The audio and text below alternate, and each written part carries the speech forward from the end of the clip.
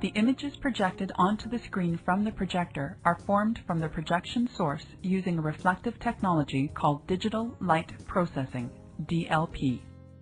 The DLP processing board uses a digital micromirror device, or DMD, which acts as a light switch.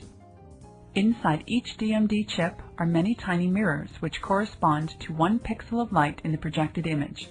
The tiny mirrors tilt towards or away from the light source thousands of times a second to produce up to 1024 shades of gray.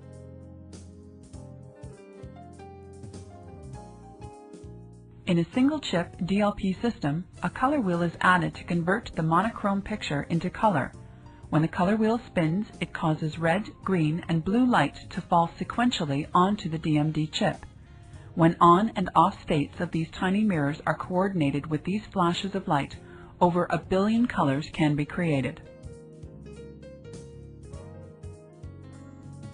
In a three-chip DLP system, white light is passed through a prism that divides the light into red, green, and blue. Each chip is dedicated to a primary color.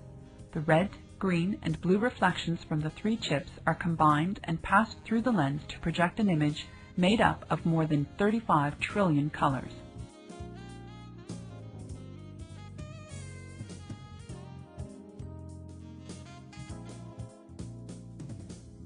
As opposed to DLP technology, where light is reflected from digital micromirror devices, DMDs, or chips, LCD technology passes light through the polysilicon LCD panel and is therefore known as a transmissive technology.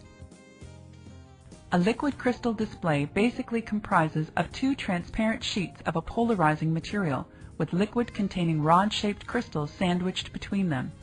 The LCD panels themselves do not emit light, but are backlit with red, green, and blue light. Light is lost when polarized light hits the edges of the transistors. The light does not pass through and a grid-type shadow is created. For this reason, many of Christie's LCD projectors are equipped with a micro-lens array, enabling a greater concentration of light onto the panel and reducing light lost after it passes through the panel. Where the DLP chip is made up of millions of tiny mirrors, the LCD chip is made up of millions of tiny cells. Each cell's opacity can be controlled by sending an electrical signal that controls the light transmission properties of the LCD panel.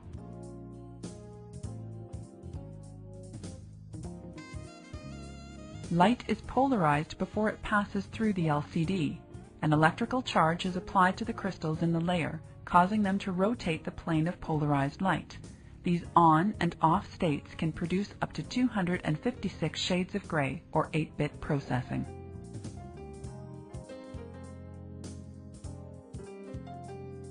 In a three-chip LCD system, white light is passed through a series of dichroic mirrors that divide the light into red, green, and blue.